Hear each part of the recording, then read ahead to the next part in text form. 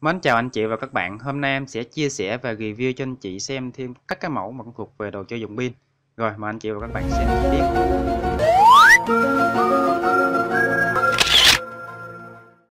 Đó là các cái mẫu đàn nhạc thuộc về đồ chơi dùng pin.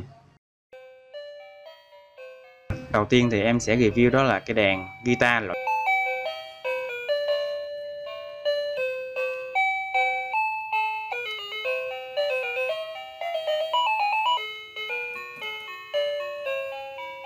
đó bấm một bấm một phím là nó sẽ đàn một một phím.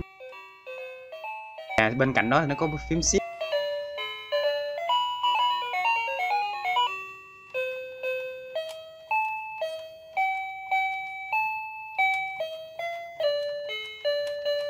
Còn nếu chúng ta bấm vào phím shift á, thì chúng ta đè một nút nhạc là nó sẽ đàn một bài.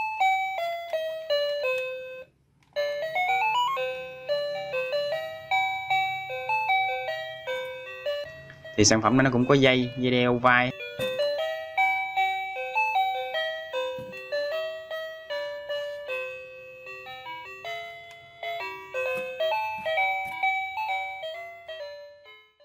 Mẫu thứ hai em muốn review đó là cái mẫu mà đàn guitar à, hình con voi.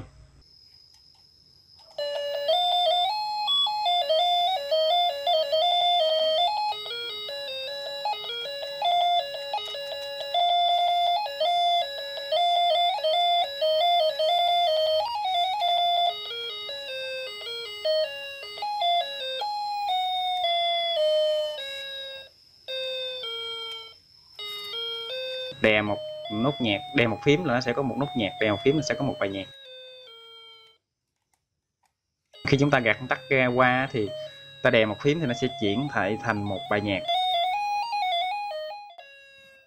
Mẫu tiếp theo em muốn review đó là cái mẫu mà cái đàn Kitty, loại nhỏ, kia được 7 nút nhạc đồ re, mi son la, si. Và bên cạnh đó thì cũng có nút chuyển đổi chức năng nè ta sẽ đè một phím, thì nó sẽ có một cái bài bài nhạc đàn liên tục.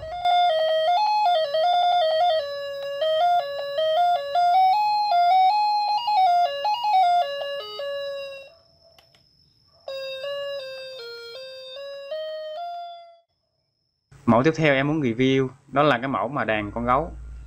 Thì cái mẫu mã này thì cái chức năng chơi nó cũng giống như đàn Kitty gì đó, các bạn anh chị thì chúng ta đàn một phím thì nó sẽ đàn một nốt nhạc. Đồ re mi son la si.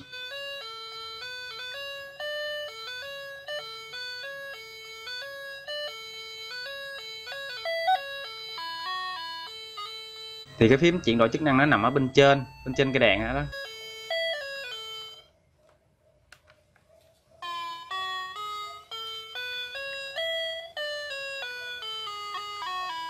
Và khi chúng ta bẻ cái phím chuyển đổi chức năng á, thì nó sẽ kia được một bài nhạc.